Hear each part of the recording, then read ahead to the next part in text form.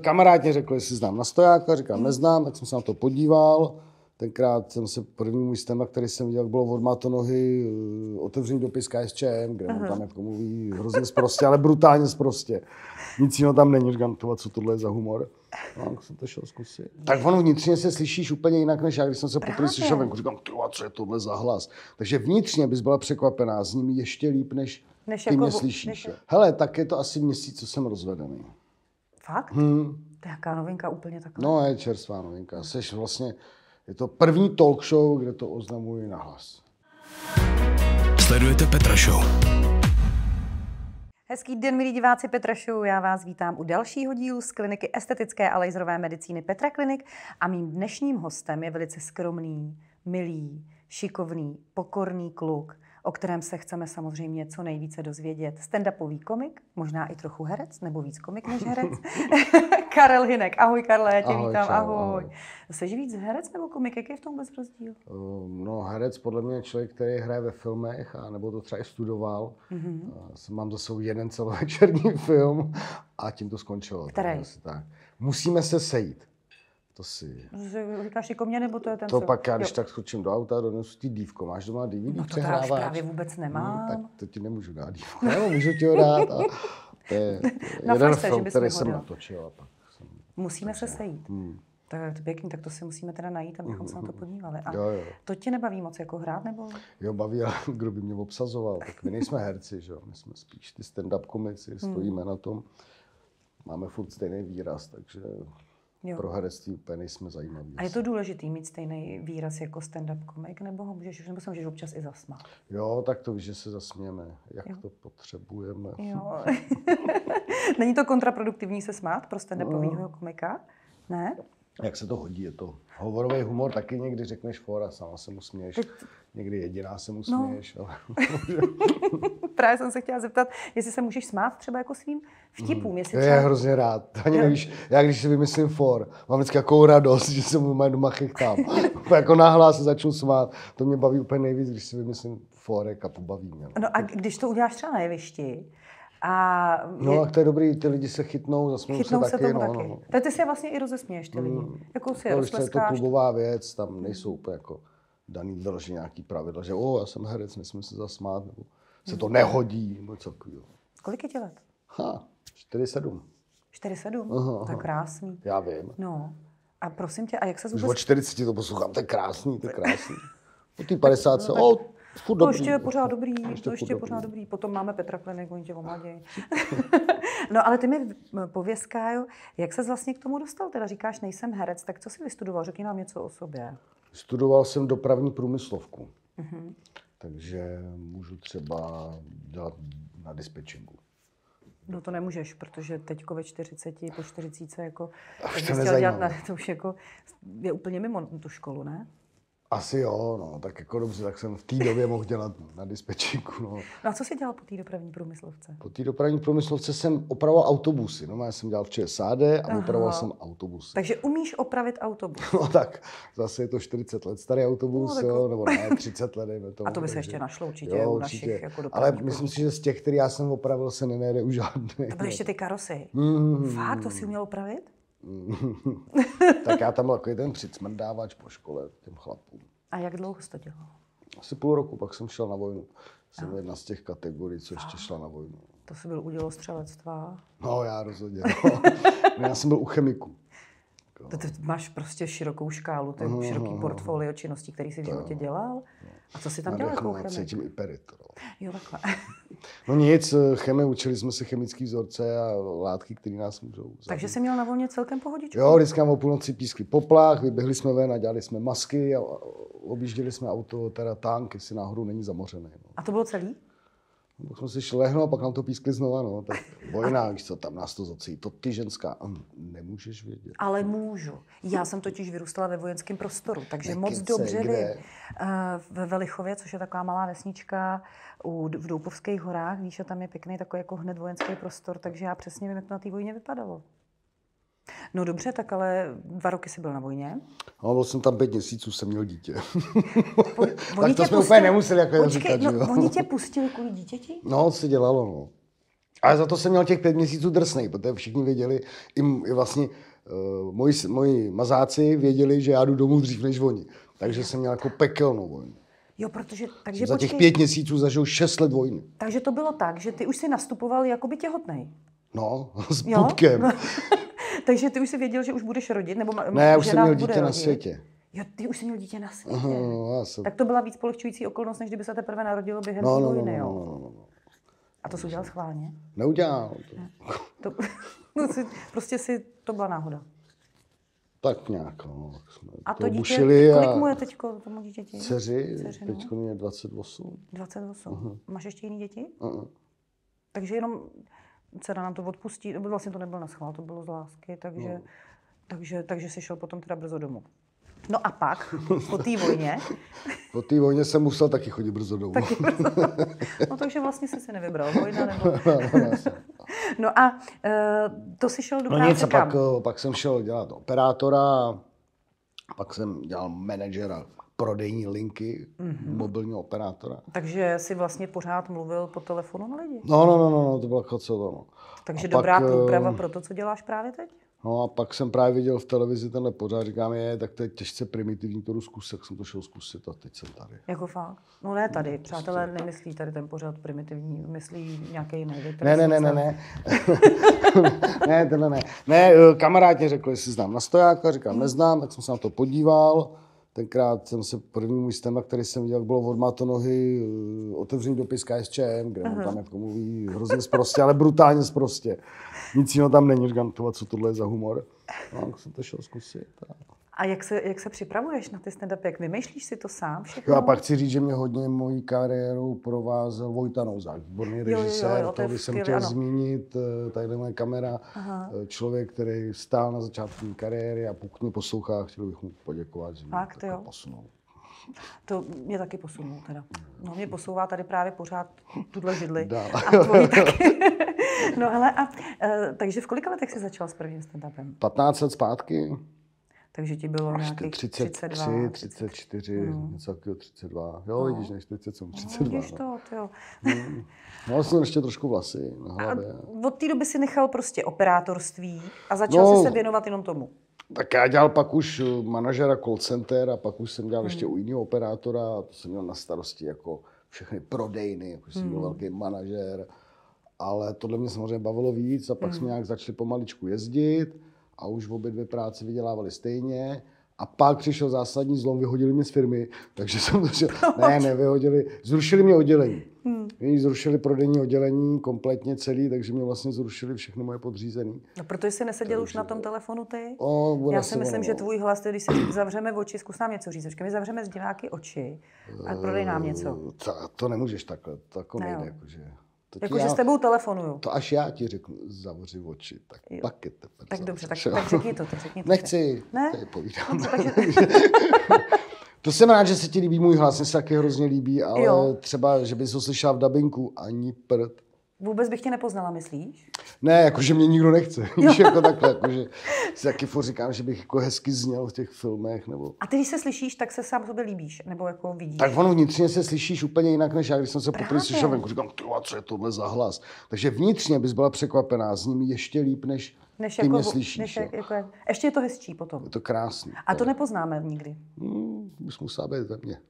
To je blbost. To je Takže, blbost. jako, takže tohle nejde. No. Já to nebudu komentovat a zeptám se tě.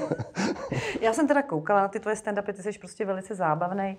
Uh, A to jsou se stříhaný, kdybys a to jsou se, a já jsem ale tě viděla naživo. A jo, vlastně. Já jsem tě viděla naživo.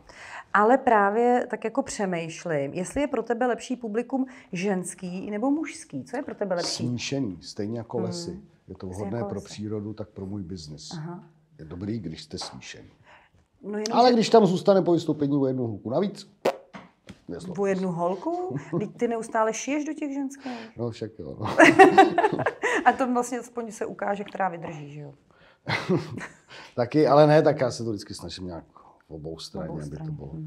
No, v obou straně. No, možná já jsem si pustila víc těch stand-upů, kde trošičku tak jako Mhm. se snažíš vysvětlovat nám, jak my, ženy, máme pochopit vás, No, muže. jasně. Jak vlastně má vypadat ideální žena? No, Pro Karla Hinka. Aby se nehádala. Jsi žena tady? Hele, tak je to asi měsíc, co jsem rozvedený. Fakt? Hm. To je jaká novinka úplně taková. No, je čerstvá novinka. Seš vlastně, je to první talk show, kde to oznamuji na hlas. Vzhledem k tomu, že jsem žádný nikdy nebyl, asi poslední. Ale... Takže zase faninky uh, a případné nevěsty Tak se pište chci tady. ženit úplně nejvíc do 14 dnů teď hned, prosím. No tak dobře, ponechme tedy toho, že jsi čerstvě rozvedený. Karel Hinek nám řekne, jak má vypadat pro něj ideální žena. To je fakt, to je těžký, tohleto. Nemá se hádat, si říkal. No, nemá se hlavně hádat. No, tak Ideálně, kdyby byla doma, já nevím, jak to popsat, kdyby byla doma jenom když chci. taková vypučená trošičku. No. Jo? Prostě, A takový mají nafukovací. Nafoukneš si, když no, to super není ono. To zase není ono. No, to Tak co k ono. tomu potřebuješ? Potřebuješ teplo. Ne, tak hele, každý, já mám takový heslo od mého kamaráda, 7 miliard lidí, 7 miliard názorů, takže prostě Hmm. někde mezi nimi ta ideální je, ale bylo by to fakt super jí potkat a úplně tomu nevěřím, že zrovna ta jedna z těch 7 miliard, že je v Čechách. A máš jakoby nějakou, jsme na půdě estetické kliniky, máš jakoby nějakou, eh, nebo nějaký takový svůj model v hlavě, štíhlá, dlouhá blondýna, nebo, nebo vyloženě spíš vybíráš tím srdcem? Spíš tou jiskrou v oku. Mrknem a víme, že se chceme. To se pozná, jo? Mm, Mrkneš a víš, že se chcete. Ne, tak je to takový, že přeskočí ta jiskra, máš si s tím člověkem co říct, může být sebe krásnější, ale když prostě promluví a je to smutný, tak Tak to není ono. to není ono. No. Tento pořád vám přináší Petra Klinik. Málo kdo ze stand-up komiků nebo stand-up komiček má v Má pohodě. Hmm. má v pohodě ten soukromý život. Jo. Prostě my jsme takový samorosti, proto, jak říkám, těžký pro mě. To jsou chvíle, kdy je fajn, když se mnou doma někdo je, ale pak jsou třeba tři dny, kdy jako nechci, aby se mnou Hmm. doma někdo byl. Já vždycky říkám, že vlastně stand-up komik musí být trošku narcista, protože já si musím vymyslet for, sám se mu zasmát a ještě být přesvědčený, že to bude bavit v ostatní. Jsem v podstatě viděl, tak jsem buď odezdal při rozvodu, anebo jsem procestoval. Sledujete Petra Show. Na tom stand-upu uh, baví tě být víc sám, nebo třeba i s několika těmi Ale svými ten stand-up kolegy? je jednotlivá disciplína. No. No. Skážu do řeči. protože No, to je dobře, to právě potřebuji kam vysvětlit, jako směřuješ, no. tak aby jsme to stihli v tom pořadu co nejvíc. Ne, vůbec, povídej o ženských klidně. Ne, tak my jsme, to jsou samorosti ty lidi, jo. Hmm. A ono třeba i když se koukneš na stand-up komiky, tak málo kdo ze stand-up komiků nebo stand-up komiček má v Má pohodě, někoho. Hmm. má v pohodě ten soukromý život. Jo. Prostě my jsme takový samorosti, proto, jak říkám, těžký pro mě. To jsou chvíle, kdy je fajn, když se mnou doma někdo je, ale pak jsou třeba tři dny, kdy jako nechci, aby se mnou Hmm. doma někdo byl. Chci mít svůj klid, čas na myšlení, na práci, tak pak mě nezajímá žádná ženská, ani kdyby vypadala, já nevím, sebelíp, nebo, Hmm. nebo jako ty třeba. Je, Okay. děkuju. Ale, Drobný komplimenty hážu to. ale ono to možná bude trošku diagnóza, ten stand-up komik, že jo, si myslím, že přece jenom to bude jako... Není Jsme divný, no. No, jako tak je to přece jenom takový jako trošičku postavit se na to jeviště, viď? A teď prostě dělat ten humor. A co když se ty lidi nesmějou? Stalo se ti to někdy? Hele, že taky bylo se stane, že přijde špatný publikum. publik, špatný, špatný publikum.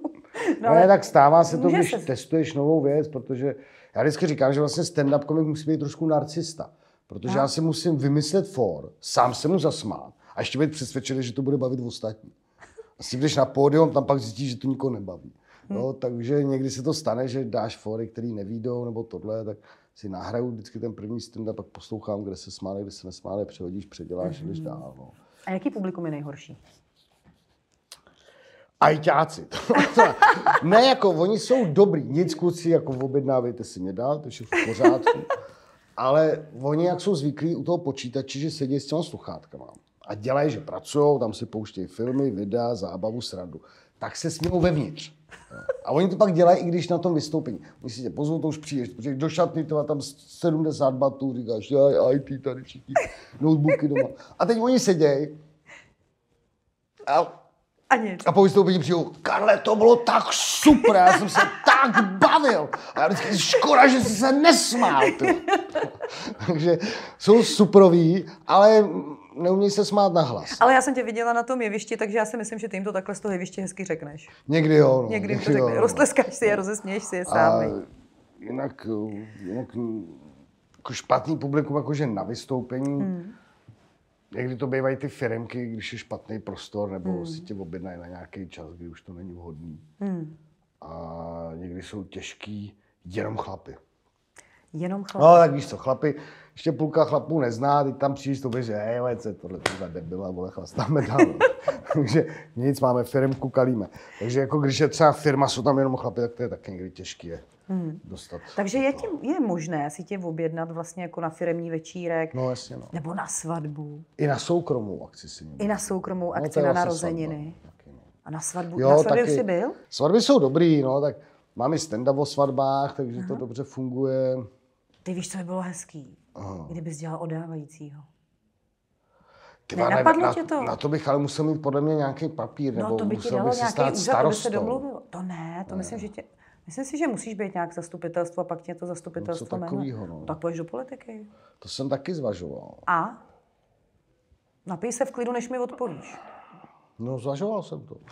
A? to bylo všechno, jenom zvažoval. zvažoval.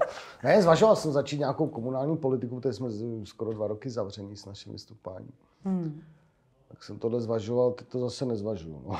tak eh, by se byl výborný jako řečník, nebo jako mluvčí Asi jo. nějakýho... To jo, ale... Co?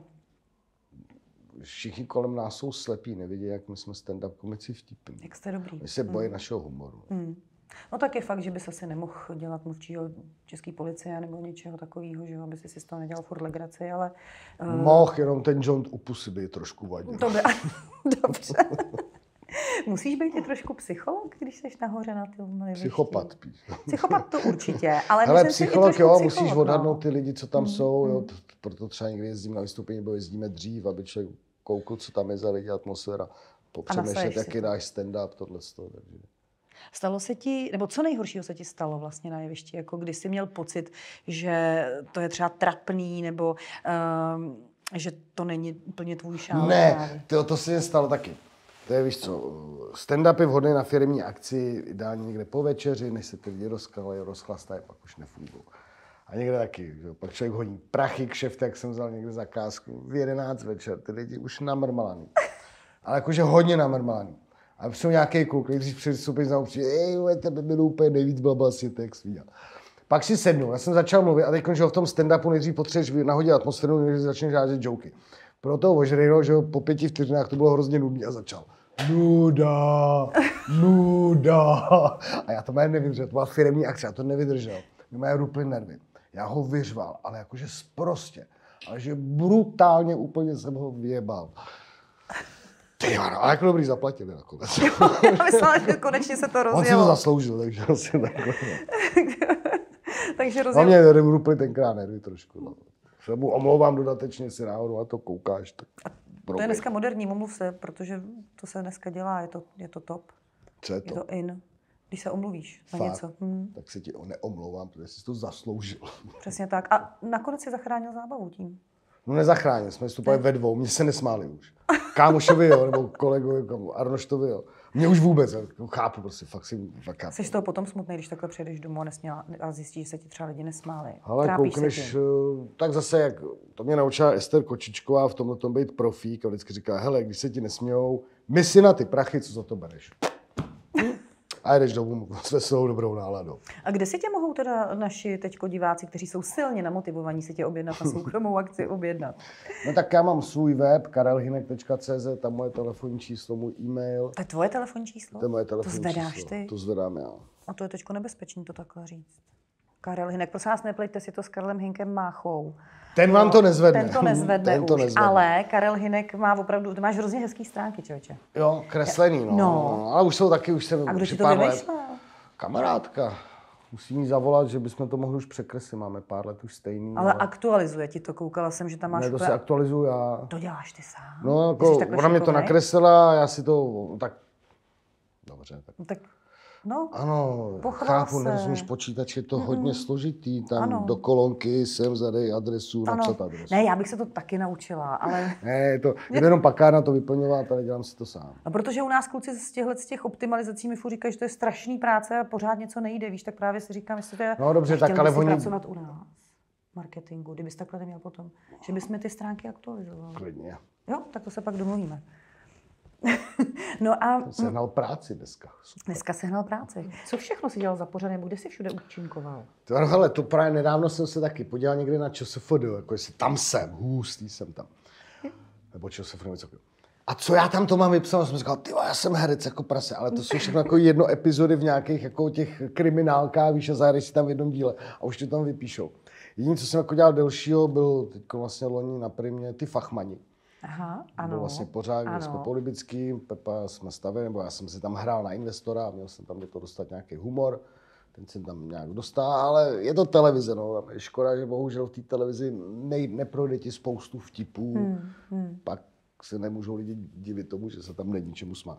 Ti řeknu třeba, krásný forek, který mě neprošel. Mrzí, mám ho do dneška, musím se ho dát do nějakého stand-upu, když jsme stáli venku, padal sníh a Pepa na mě, hele Karle, koukám, padá sníh, neznáš nějakou písničku o sněhu? Říkám, hele, znám, ale ta se nespívá, ta se šňupe. Jo.